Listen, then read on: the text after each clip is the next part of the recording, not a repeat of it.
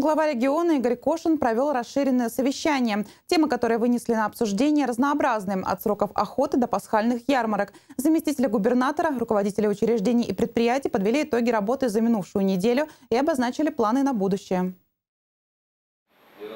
Одно из первых сообщений на еженедельной планерке – прокладка оптоволокна в направлении Коткина. Руководители Ростелекома встретились с подрядной организацией и определили сроки. Связь должна быть проведена до конца 2015 года. Заказчиком работ выступает Минкомсвязь, поэтому все работы будут финансироваться из федерального бюджета. Теперь за дело должны взяться местные чиновники. Вторая положительная новость – приближение сезона охоты. Заместитель губернатора Олег Белак сообщил о сроках охоты в территориальных зонах округа. Открывают сезон охоты жители западных поселений. Им разрешено охотиться с 15 по 25 мая. Населенные пункты центральной части округа могут охотиться в период с 23 мая по 1 июня. Каратайке, Усть-Каре, Амдерме и другим восточным поселениям установлен срок с 30 мая по 8 июня. Еще одно событие, которое повлияет на жизнь региона – Дни Ненецкого округа в свете Федерации. Они пройдут в Москве 28 и 29 апреля.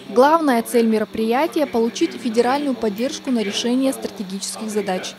Мы должны поставить перед собой амбициозную задачу в течение ближайшего срока э, все-таки достроить автодорогу на Ленмарусинской. Вы знаете, что в этом году мы начинаем э, активное движение, то есть первый, первые транши из федерального бюджета субсидии мы должны уже получить. Свое э, софинансирование мы совместно с депутатами добавили в этом году должны начаться физические работы э, по этой автомобильной дороге.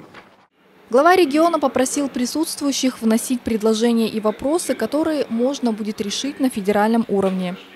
Валентина Чибичек, Александр Дуркин, телеканал «Север».